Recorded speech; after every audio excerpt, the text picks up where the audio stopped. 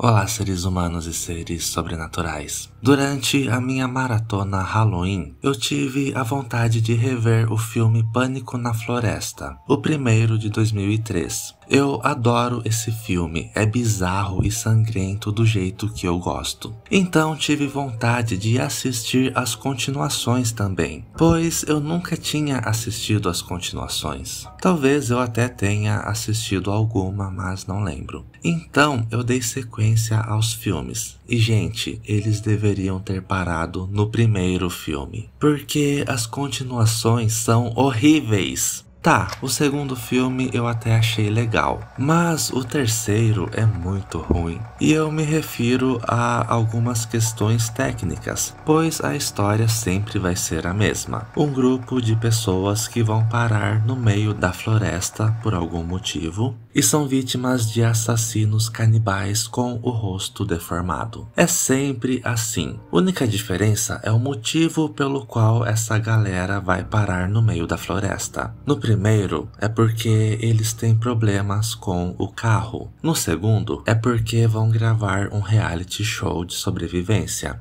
No terceiro, são prisioneiros que estão sendo transferidos e sofrem um acidente. E também vemos um grupo de jovens que estão se divertindo e a sobrevivente desse grupo se cruza com o grupo de prisioneiros depois. Então, o que me fez querer assistir esses filmes não é a história, são as mortes violentas e sangrentas que eu adoro. Mas o terceiro filme não teve tantas mortes. A qualidade do filme é muito baixa. Os efeitos são horríveis. Sério, são os efeitos mais estúpidos e mais baratos que eu já vi. As atuações e os diálogos são piores ainda. Sem falar que as vítimas aí são prisioneiros, ou seja, são pessoas que já cometeram os piores crimes contra a humanidade. Por que diabos eles não batem de frente com os canibais? Eles até tentam, na verdade, mas são massacrados. Isso que tem apenas um canibal caçando os prisioneiros.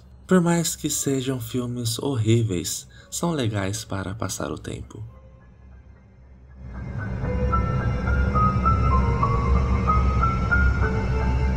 Eu sempre vi anúncio da MUBI no Instagram sobre esse filme e me chamou muito a atenção. A descrição sobre o filme é a seguinte: Antes de Jogos Vorazes ser inventado, o diretor cult Kinji Fukasaku arrebatou o mundo com seu banho de sangue distópico, baseado no livro homônimo. Eu achei que o filme pudesse ser muito interessante e assistir. E realmente, eu adorei o filme. Ver adolescentes jogados no meio da floresta, matando uns aos outros, é muito bom. Isso é um novo programa administrado por um governo autoritário japonês. Os grupos acreditam que estão indo para uma viagem escolar, mas são forçados a inalar um gás que faz com que os alunos desmaiem acordando em uma sala em uma ilha isolada. Eles são informados sobre o programa, recebem um kit sobrevivência e são mandados para essa ilha para se matarem, até que sobre apenas um. Esse filme é muito bom.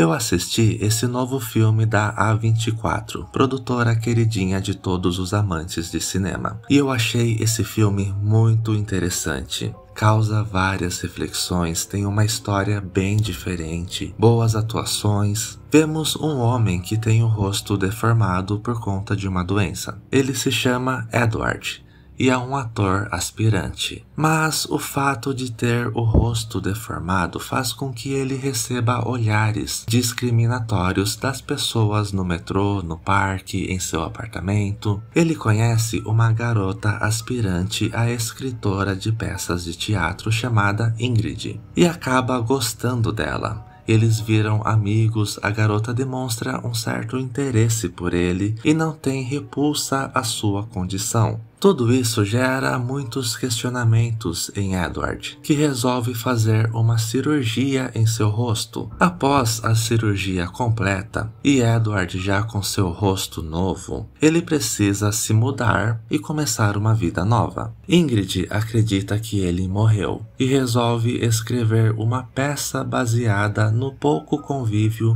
que teve com Edward, que agora atende pelo nome Guy, e fica sabendo sobre a peça e vai fazer uma audição. Ele seria o ator perfeito para a peça, ele estaria interpretando ele mesmo. Ele se aproxima de Ingrid e começam a se dar muito bem até que aparece Oswald um homem que também possui a mesma deformação no rosto e passa a querer tomar o lugar de Guy. Isso faz com que ele reflita sobre a cirurgia que ele fez, pois vê outro cara no papel que seria dele, o que causa várias reflexões. Enfim, é um filme muito interessante.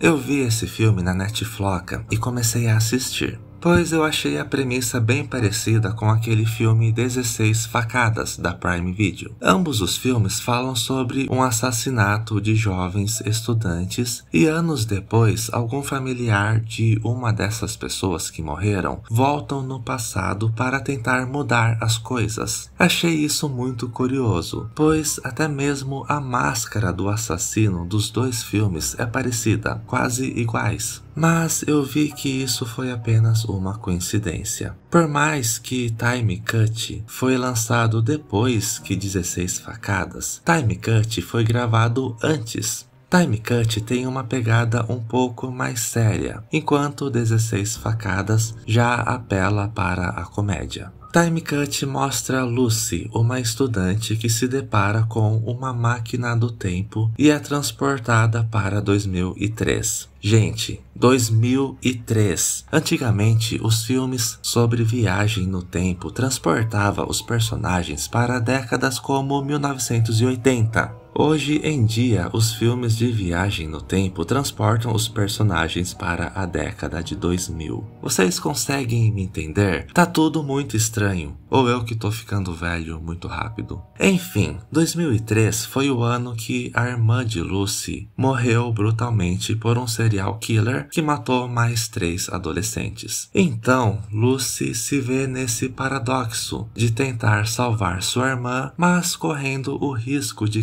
causar o famoso efeito borboleta, alterando completamente o futuro. Assim, eu gostei do filme, mas não é um bom filme. Apenas dá para passar o tempo. Às vezes é bom assistir algo mais leve, que não vai lhe causar grandes reflexões sobre a existência da vida humana, não é mesmo?